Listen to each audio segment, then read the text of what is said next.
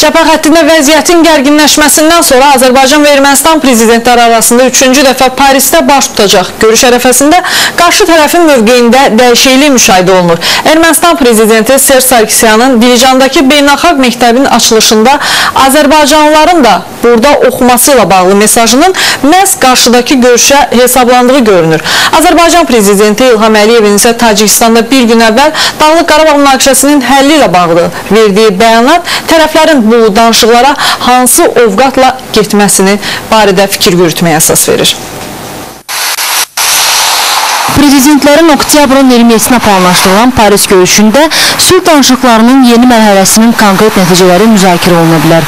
Belə düşünməyə səbəb ölkə başçısı İlham Əliyevin son vaxtlar Dağlıq Qarabağla bağlı daha qətiyyətli bəyanatlar verməsidir. Tacikistanda səfəri zamanı Prezident İlham Əliyev Dağlıq Qarabağ məsələsini bir daha önə çəkərək Tacikistan Prezidenti İmaməli Rəhmanla bəyannamə də imzaladı.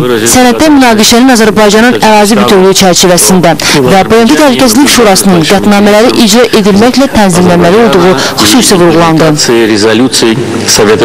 Bu qətnamələr 20 ildən çoxdur ki, qəbul olunub və təəssüf ki, yerinə yetirilmir.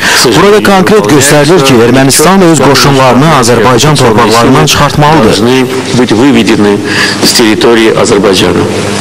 İlham Əliyev 9 ayın yekunlarına bağlı keçirtdiyi müşavirədə Dağlı Qarabağ münaqişəsi ilə bağlı ölkənin prinsipal mövqeyinin dəyişmədiyini və ancaq bu şərtlər altında münaqişənin həllinin mümkün olacağını bəyan etmişdi.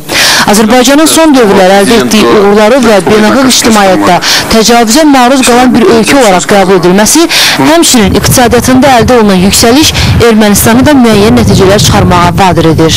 Mənim indi deyəcəklərim əksəriyyətiniz üçün qeyri-real və ya çox qəribə görünə bilər. Mən tam səmimiyyətlə arzu edirəm ki, Azərbaycanlı tələbələr də bu məktəbdə təhsil alsın və inanıram ki, bu gün tezliklə gələcək. Ekspertlərin fikrincə Serj Sarkisyanın bəyanatı populist xarakterli olsa da müəyyən dəyişikliklərdən xəbər verir. Politolog Rasim Musabbəyev hesab edir ki, belə vəziyyətdə Ermənistanın mövqeyində yumuşalmanın olması qaçılmazdır. Yəni hər bir halda bu e, elə belə Azərbaycana ürəyi yanmağın nəticəsi deyil. Azərbaycanın gücüdür, Azərbaycanın diplomatik fəaliyyətidir. Bunun nəticəsidir və bunu anlayaraq Azərbaycan ordusunun güclənməyini görərək, Azərbaycan iqtisadiyyatının güclənməyini görərək təbii çalışırlar biraz öz iddiaların elə də qabarıq şəkildə ortalığa qoymasını. Rəsmi Bakı Paris görüşünə konkret təkliflərlə gedir. Onların bir qismini Xarici İşlər Naziri Elmar Məmmədiyarov artıq açıqlayıb və böyük sülh sazişinin imzalanması üçün hansı işlərin görülməli olduğunu sadalayıb. e, struktur bölmələrindən bir e, danışıqlar aparaq. Yəni ki, cürbəcür bu nəqliyyatla bağlı, qoşunları çıxartmaqla bağlı, məcburi köçkünləri geri qayıtmalı.